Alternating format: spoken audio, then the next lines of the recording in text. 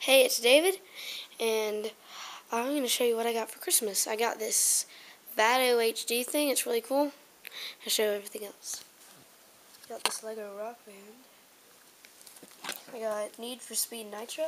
I got Modern, Call of Duty Modern Warfare 2. Guinness World Records. A DSI. I don't have it right now.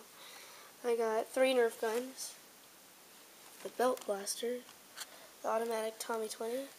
And the over under. It's really cool.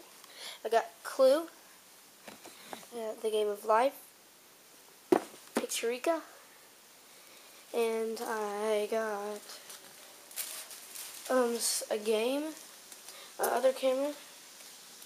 Well, see you later, guys.